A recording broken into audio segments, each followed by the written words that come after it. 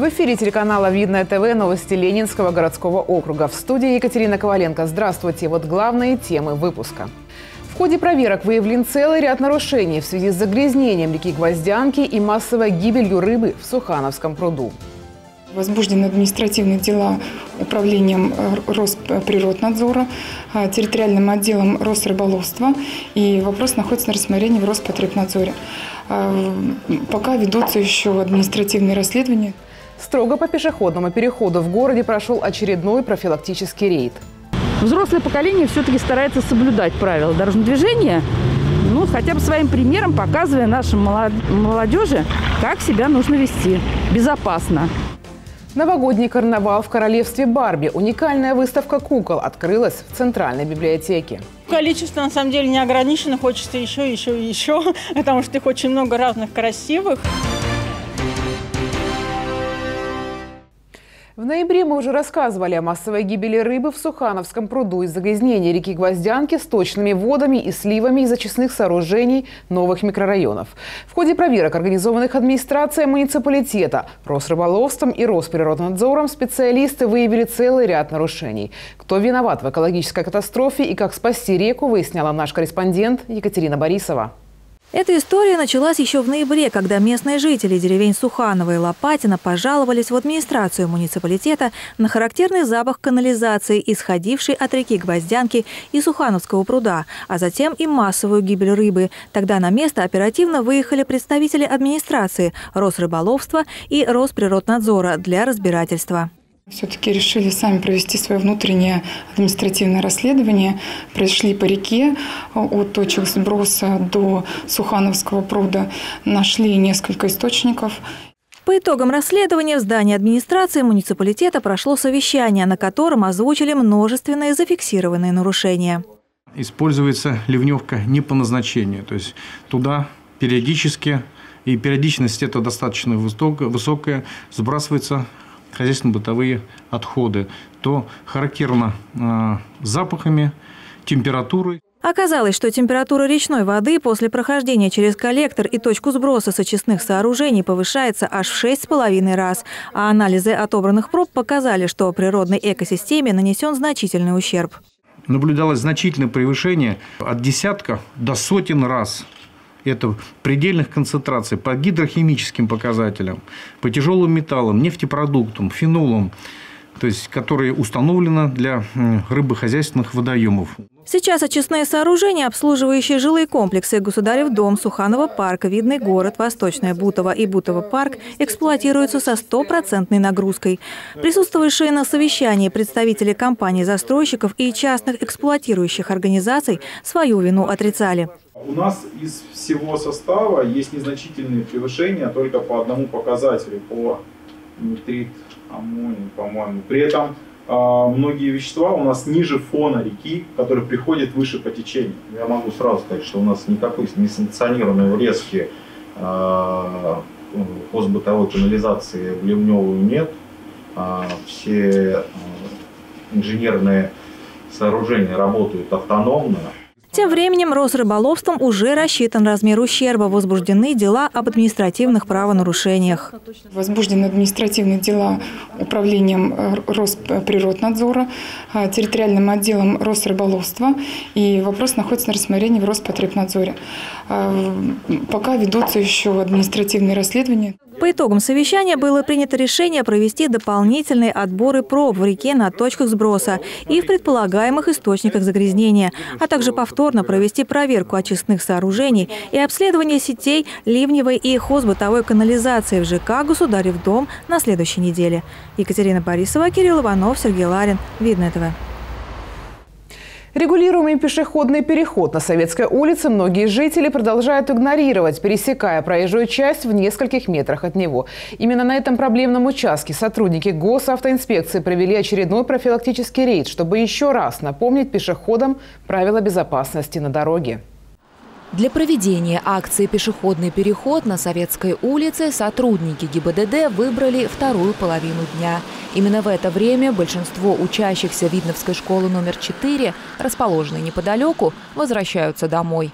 Для безопасного передвижения через проезжую часть здесь находится регулируемый переход – Ученицы четвертого класса Алиса и Аня с правилами дорожного движения ознакомлены хорошо. Нам рассказывали старшеклассники. И мы проводили классный час иногда. Сотрудники госавтоинспекции уверены, что проведение подобных мероприятий пополнит ряды грамотных пешеходов. Сегодня мы как раз наблюдали ситуацию, когда, ну, можно так сказать, грубо, 50% наших участников юных соблюдают правила дорожного движения, переходят дорогу по пешеходному переходу. Вторая часть наших, так можно сказать, недисциплинированных ребят переходит проезжую часть по дороге. Вот мы сегодня еще раз с ними проводили профилактическую беседу, еще раз им напоминали, как нужно себя вести на улице нашего города. В ходе рейда инспекторы вручали детям световозвращающие элементы. Присутствие их на одежде особенно актуально в это время года, когда темнеет рано. Вот я смотрю, на вас темная курточка одета угу. и без световозвращателей. А вот как вы думаете, для чего он нужен? А, чтобы ночью, если человек, ну, ребенок переходил, а, когда светили на него, ну, фарами, то видели, чтобы не сбить человека. По итогам акции сотрудники ГИБДД отметили, что большинство взрослого населения переходят дорогу на этом проблемном участке правильно.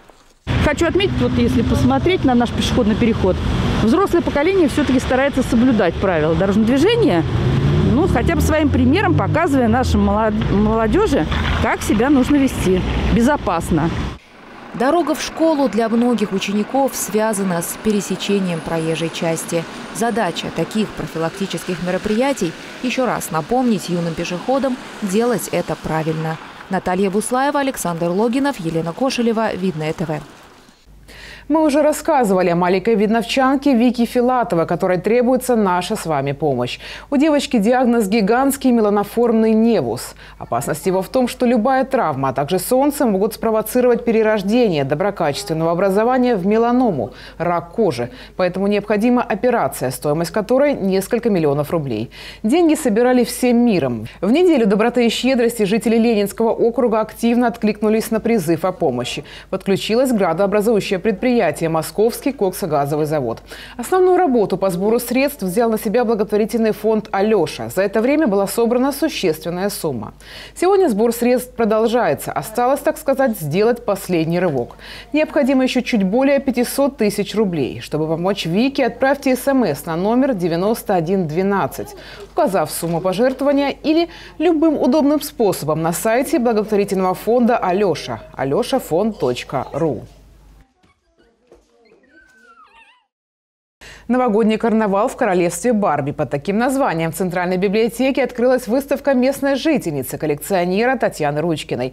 На витринах экспозиции не только Барби и ее друг Кен, но и герои всеми любимых фильмов, а также суперзвезды Мэрилин Монро, Элизабет Тейлор и другие. Наш корреспондент Татьяна Брылова познакомилась с автором выставки и ее любимыми куклами. Никакая пандемия не в силах отнять у человека желание жить, любить и восхищаться прекрасным. Яркий тому пример – коллекционер кукол Татьяна Ручкина. Персональная выставка, которая открылась в Центральной районной библиотеке.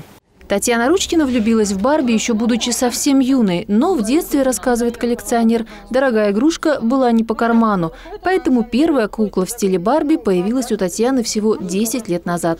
Сегодня в ее коллекции более 200 игрушек в интернете нашла форум, где взрослые коллекционеры собирают кукол и решила осуществить свою мечту купить Барби Вивьен Ли из «Унесенных ветром». Ну и с этого началось все, что продолжилось. Татьяна рассказывает, что увлечение Барби – это не просто коллекционирование кукол, это интересные знания и даже дизайнерское искусство. Некоторые, допустим, покупаются не прям в коробках, а их раздетыми, и потом их приходится приводить в порядок.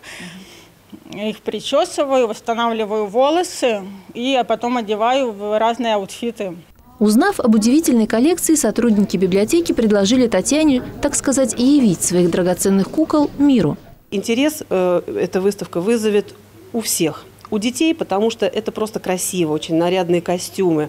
У взрослых, потому что это ну, кусочек нашей жизни, кусочек нашей истории. Это действительно фильмы, это герои книг, это герои, там, артисты, певцы и так далее. Это действительно очень увлекательно. Выставку можно посмотреть самостоятельно, придя в библиотеку, а также увидеть подробную онлайн-экскурсию по экспозиции в социальных сетях. О самых интересных куклах расскажет сама Татьяна Ручкина, которая знает о своих игрушках, кажется, все и не перестает мечтать о новых куклах. Количество, на самом деле, не ограничено. Хочется еще, еще и еще, потому что их очень много разных красивых. И вполне возможно, что через время в библиотеке откроется очередная выставка, в которой появятся новые герои волшебного королевства Барби. Татьяна Брылова, Сергей Ларин, Ольга Садовская. Видное ТВ. И это все новости на сегодня. С вами была Екатерина Коваленко. До новых встреч!